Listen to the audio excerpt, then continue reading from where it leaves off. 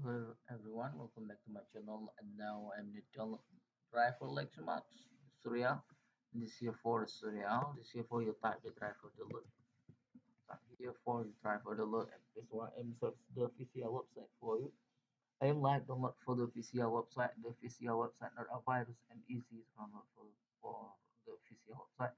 And this here for official website you click here and this one uh, website loading and this is for the printer you scroll down look in the title driver and support click here for the title. And this why? This landing page loading uh, look in the title driver and download. You click here for the driver.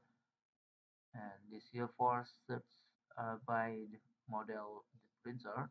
And this here for the type automatic your operating system. If you need change the operating system you click here. This here for operating system linux mac and here windows i'm sure for the mac. And this here mac version you click here. This here for the new version for mac. Make your life mac 11 and this here for mac 13 and not not for the 13 for mac update. This here for mac 10 or your mac version.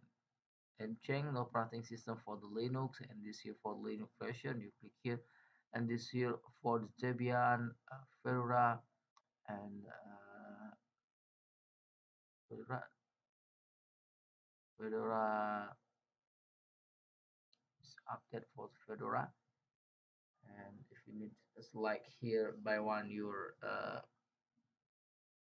your the print the version print like here.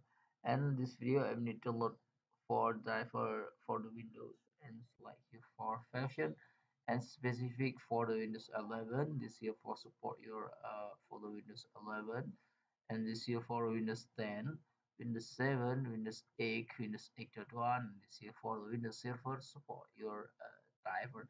In this video I need to load for driver Windows 11 like here. And that uh, looking here for that release. And this here for new that re release for support for the windows 11 and this here for language english support and this video i am a recommendation for you. You download for the package and this package support your uh, the driver and this here for universal print driver installation package.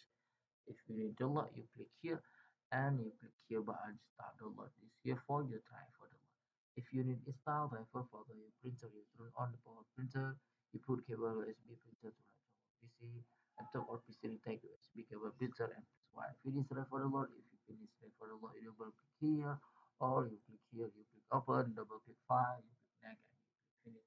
This here for the take automatic here.